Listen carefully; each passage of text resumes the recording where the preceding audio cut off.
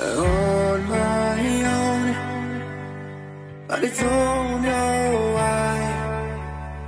You hit the road, but you don't realize I won't look back when you're gone. I won't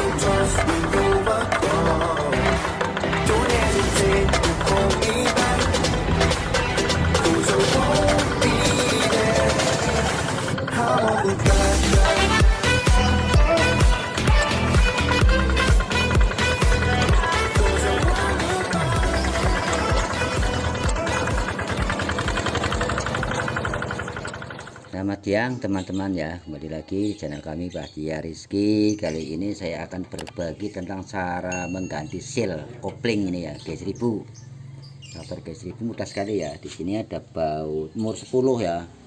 Baut umur 10 Ya biasanya itu keras sekali nih Tapi ditahan di sini ya. Kita tahan di sininya Tahan. Karena berhubung ini kondisi 19 kan nyampe Terus kita pakai ini tahan pakai ini ya tahan begini. Kita pukul saja begini ya teman-teman. Nah begini kita pukul. Kan sudah naik begini ngangkat. Nah setelah itu kita pegang pakai tang saja begini. Nah.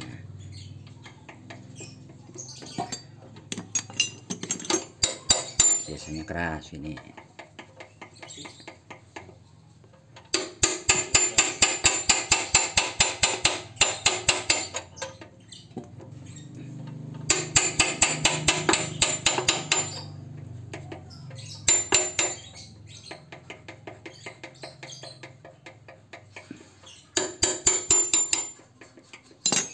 cukup mudah kan teman-teman ya? Simple sekali ini. Tinggal kita buka baut 12 ini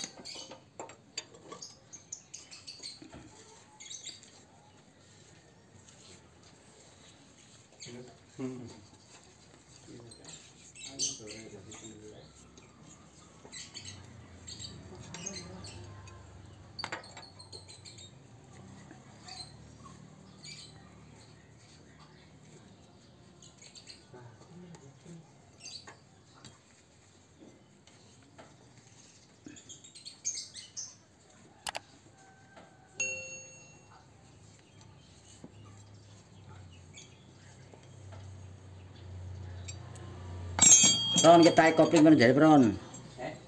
Koplingnya tarik ya men kita bisa buka. Kita pukul aja bikin doang nah. Oke koplingnya tarik. Ya. Ora sih nah. Jadi orang ngalang-alangi ya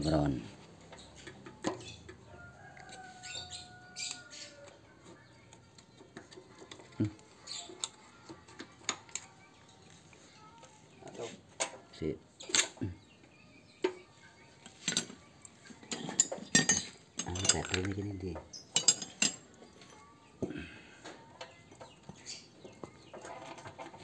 Tarik mana Bron? Nah, iya. Nah. Ini.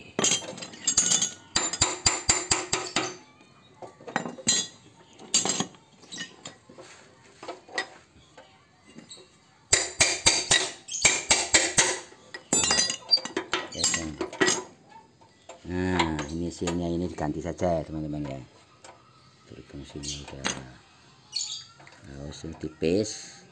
Kita apa diganti juga bisa, apa kita kasih sil tip dalamnya juga bisa.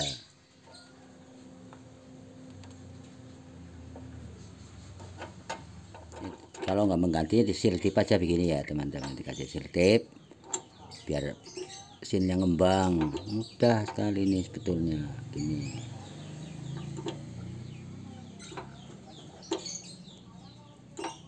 nanti kalau dikasih filter ininya jadi ngembang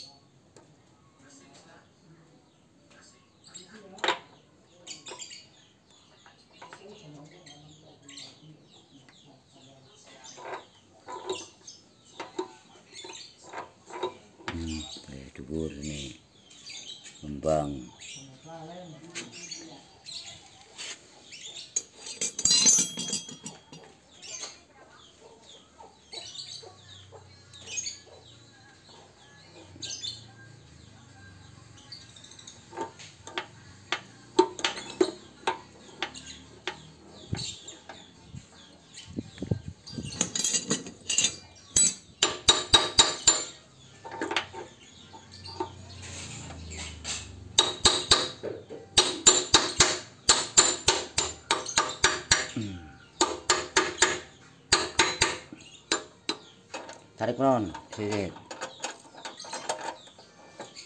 nah, nah.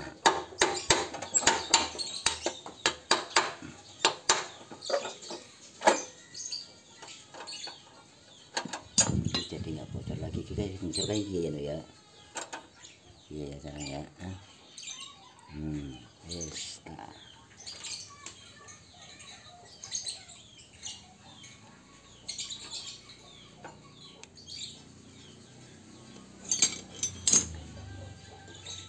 Yang request cara mengganti seal kopling ini begini.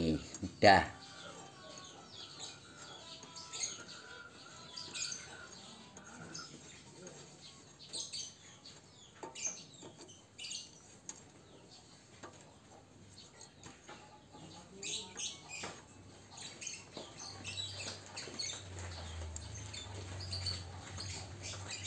sing organis gerang lho kuwe ganti sing kuwe benae ron sing kuwe sing kandel ya meh ake mon dalil memang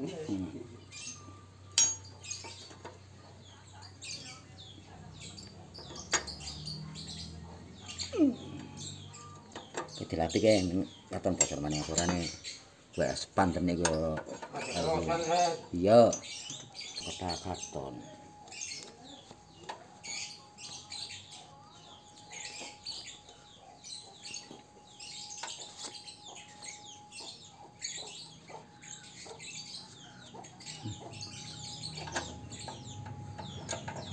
Kayak tak komplain lo, si bocor.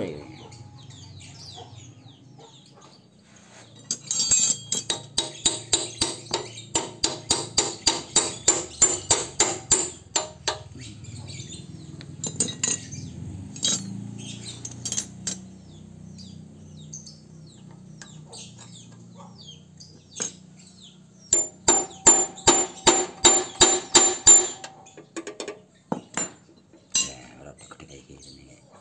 Ah, kenceng eh. Kan udah gogrik ya. Sekarang ron. Ada dulu kayak kita ya tapi kan mari dure ora gue.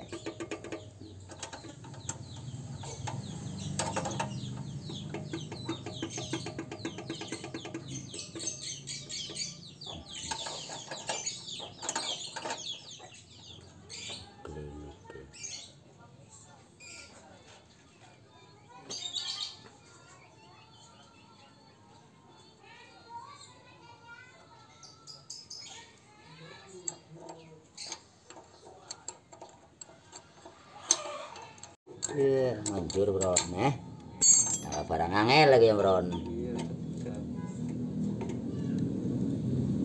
Dia. Ah.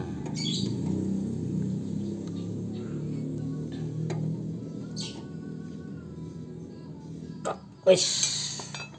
Itulah tadi ya teman-teman ya cara mengganti seal kopling ya G1000 itu sangat mudah. Kalau boxer sealnya nggak kayak gelang itu ya kayak seal as roda tapi kecil. Tapi kalau G1000 sealnya seperti ini, contohnya begini teman-teman, tapi agak gede sedikit. Itu saja tip dari saya ya teman-teman ya. Semoga teman-teman tahu bagaimana cara mengganti seal as kopling. Itu saja cukup sangat mudah.